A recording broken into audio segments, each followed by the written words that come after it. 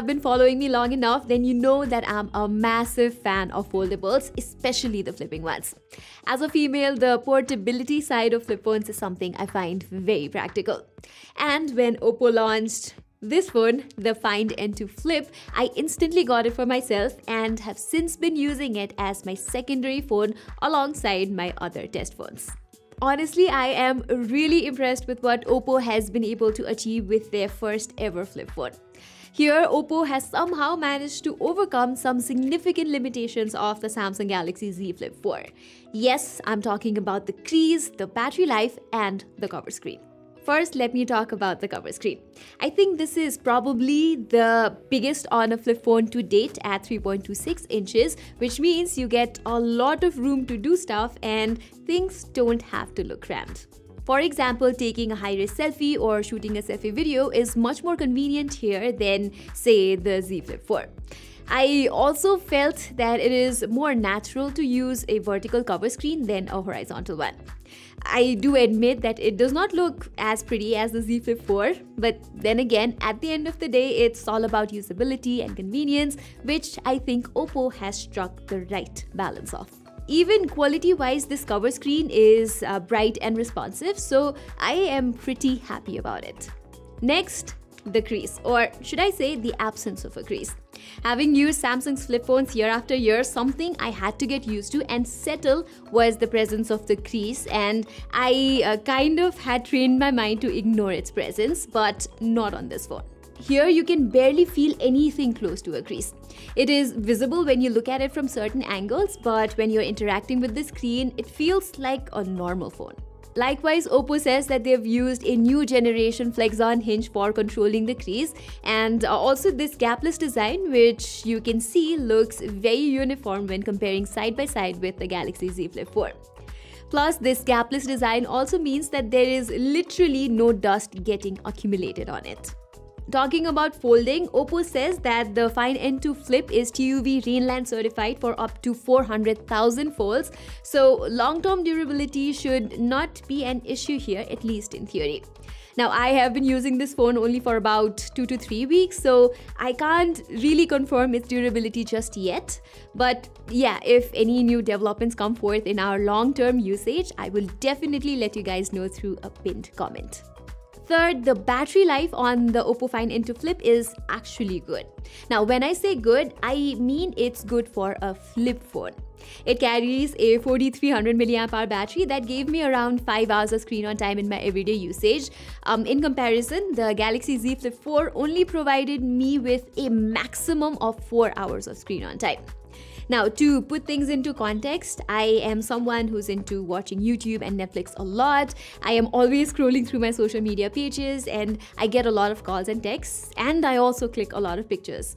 So, uh, doing all that, this phone would get me through morning till evening when I reach home.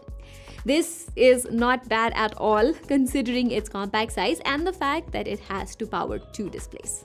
Charging it is fast too with the 44 watt wire charger which by the way you get inside the box. The phone can go from 0 to 100% in about an hour. Okay, now talking about other general things, the design of the Find N2 Flip is certainly robust, although it is a bit slippery and would slide out of my trousers time and again. Either way, ergonomically, it feels good on the hands and it's got a nice heft too. Um, now, I do have to mention that I like the Z Flip 4's heft a little more, but this one's pretty good as well. Oppo has left very less room to complain about the main display too. It's a 6.8-inch E6 AMOLED panel with 120Hz refresh rate, LTPO refresh rate tech and a maximum brightness of 1600 nits. Plus, this screen is also not as narrow as the Z Flip 4, so for me it did not actually feel that different from a regular smartphone. The only thing that's a little different here is that it unfolds to an unusual 21 is to 9 aspect ratio, which means black bars are more prominent while watching um, content on YouTube and OTT platforms. Other than that, the phone has stereo speakers which sound alright. They are loud, a little sharp for my taste, but okay for watching movies and casually listening to music. For the cameras, the Oppo Find N2 Flip has the same 50 megapixel primary sensor as the OnePlus 11, that too with Hasselblad color calibration. So for the most part, I like the photos coming out from its main lens. I compared it against the Galaxy Z Flip 4 and well, the pictures from both the phones stand out in their own way. Both phones produce a punchy output with good white levels and acceptable dynamic range. Of course, the photos are not flagship level. It lacks a telephoto lens for taking portraits, but in my experience, the Find N2 Flip has been a reliable performer overall and almost as good as the Galaxy Z Flip 4. However, I found Samsung doing better in terms of the ultra wide angle images, and that's because Oppo has used a pretty basic 8 megapixel sensor here, which we usually find on mid range phones when it comes to taking selfies, I barely use the selfie camera on the Find N2 Flip, and that's because I would always use the back cameras to take high resolution selfies, and I love the output. You will notice a bit of smoothing here and there in the selfies, but the final result is just wonderful. Oppo also lets you use the palm gesture to take selfies and portraits from the back camera, which has been really handy for me, especially when I want to take a picture of myself when no one's around. You can also shoot videos from the back camera using the cover screen, but the output is only limited to 1080p 30 fps for some reason. I particularly found that strange since the rear camera is capable of shooting 4K 30 FPS footages when unfolded. I think the option to shoot in higher resolution would have been excellent for vloggers, TikTokers, or just content creators in general. Anyway, I found the performance on the Oppo Find N2 Flip to be satisfactory too. The Dimensity 9000 Plus is a reliable performer for everyday chores and even for gaming, you're not going to be disappointed. I played Genshin Impact on it in medium settings and it was giving me like stable 30 FPS. I tried the game in higher settings too, but um, even though the gameplay was stable enough, I experienced a little bit of heating near the camera module. Anyway, I had a good experience playing other relatively optimized games like PUBG and Call of Duty though. Even in the highest settings, there would be negligible heating and the FPS numbers were good too. Oppo's software has also come a long way. Along with like regular customization options, you get a few flip exclusive features here like FlexForm video streaming, FlexForm video calling, and FlexForm camera, which are very similar to what the Galaxy Z Flip 4 provides. Now, something I find really cute is the digital pets feature that lets you choose between a bunch of wallpaper options with different pet animations.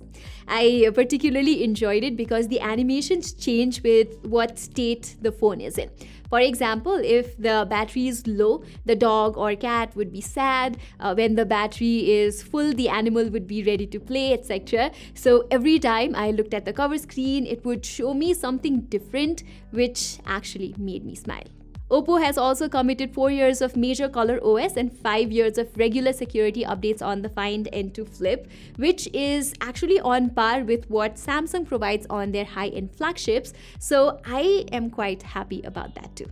Okay, by now I've talked about all the good things about the Oppo Find N2 Flip, but we have to keep in mind that this is Oppo's first generation flip phone and there are some things that need further refinement.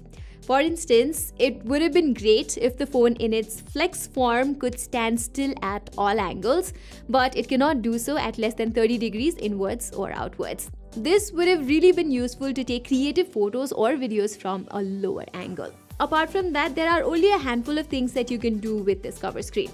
You can access the quick toggle menu, check notifications, and reply to them partially. Um, then we have the camera widget, weather, timer, and music control, and that's basically it. On the other hand, Samsung lets you do a lot more from their tiny cover screen. From being able to dial your favorite contacts to grouping similar notifications together, Samsung gives you a slightly more refined experience. Oppo says that they are working on it, so let's hope that happens soon. Likewise, in the videography department, the Find N2 Flip is limited to 4K 30 FPS recordings from the rear primary camera, and you also don't have the option for 4K recording from the ultra wide angle camera. Even from the front, the videos are limited to just 1080p 30 FPS.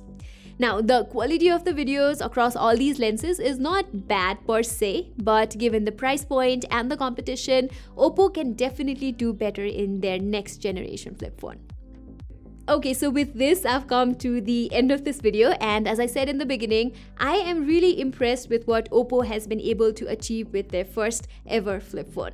It addresses a lot of issues that even Samsung, despite their head start in foldables, has not been able to crack. So I genuinely think that Oppo is in the right direction.